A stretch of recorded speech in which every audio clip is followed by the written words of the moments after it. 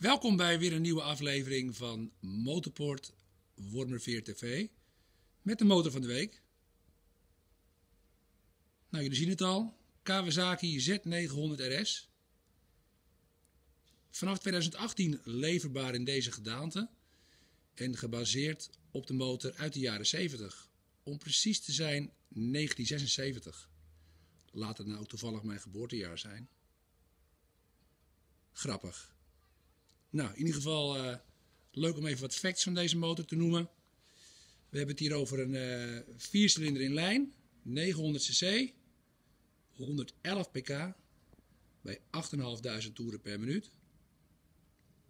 Het blok is gekoppeld aan een zesbak. Als we even een rondje om de motor heen maken, zien we hier ook het typerende ronde achterkantje, wat ook bij, de, bij het 70 jaren model al zo kenmerkend was. Een mooie vette 180 achterband eronder. De zadelhoogte van deze motor is 83,5 centimeter. En de motor weegt 215 kilo rijklaar. Mooie componenten. Zoals de mooie radiale remtangen aan de voorkant. De volledig instelbare voorvork.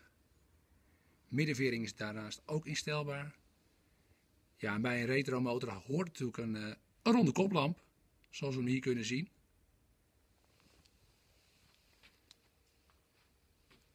Nou, deze motor staat bij ons in, uh, in de showroom in Wormerveer. Hij is van 17 januari 2019, heeft nog maar 2100 kilometer gereden. En we gaan vragen voor de motor 10.999 euro.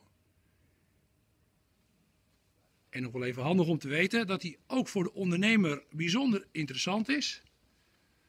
Want de BTW is verrekenbaar. Het is dus een zogenoemde BTW-motor. Hij staat voor je klaar en mocht je zin hebben om de regenbuien te trotseren en een proefrit willen komen maken, dan kan het.